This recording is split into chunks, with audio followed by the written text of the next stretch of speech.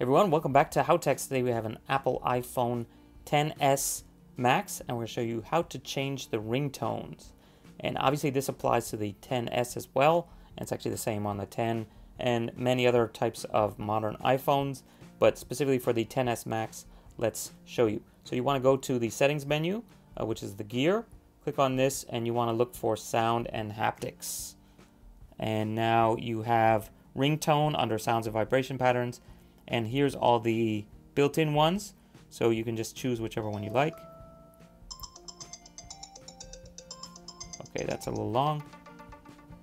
So uh, you also have the option of going to the tone store and basically buying a different tone.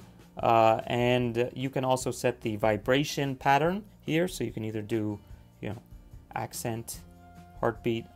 I don't know if you guys can hear that but basically those are vibrating the uh, table that this phone is on right now. Uh, and then you can also do a custom one. So that's an option. Uh, in here, there's also the classic ones. So these are really your old school, you know, iPhone 3 level ones like the quacking duck, etc. So uh, you also have a choice of alert tones. So these are usually used for like tone, uh, text tones, but you can use them as ringtones as well.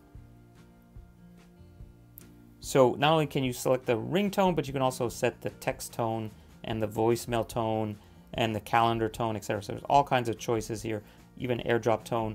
So let's look at the text tones. So now you have, those are those alert tones that we saw before, but you can actually also apply a ringtone as well. So uh, that might be overkill every time you get a text message, but it's up to you. And again, you can go to the tone store if you would like. And you can also adjust the vibration pattern. So that's the basics on setting the overall tones for the phone.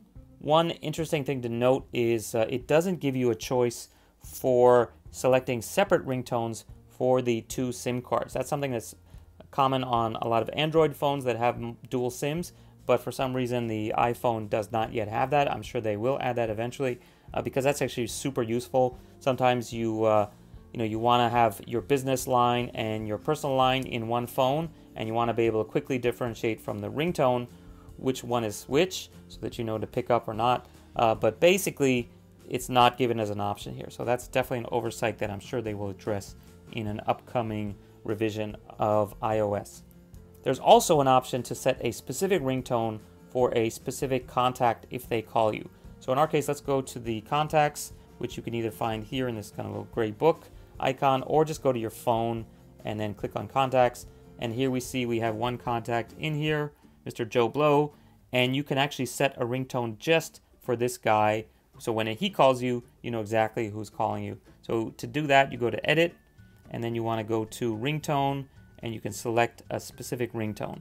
And you also have a couple other options related to ringtone. So basically you can set a specific vibration pattern. You can actually buy a tone through the tone store and you can also do an emergency bypass, which basically uh, allows this person to sort of override your do not disturb mode. So if it's like, you know, your emergency contact or it's your mom and you don't want to have her uh, have to wait till tomorrow to talk to you, so uh, you can always switch that on as well. And we have all the choices here for the alert tones and the ringtones. Okay, so that's basically it for setting a custom ringtone as well as assigning the ringtone for the phone. And just a matter of time before they figure out to do dual ringtones for the dual SIMs, I'm sure. What do you guys think? Do you think I'm right? Do you think I'm wrong? Uh, do you think it's an oversight or is it just proof that Apple doesn't have their stuff together? Okay, so leave a comment and let me know what you think. Definitely check out other how-to videos for the Apple iPhone XS and XS Max uh, here on HowTech and give us a like and a thumbs up. See you guys later. Bye. Today we have an iPhone XS Max. I'm going to show you how to insert and remove SIM cards. As you can see, we have two SIM cards, and this is the Hong Kong edition of the phone.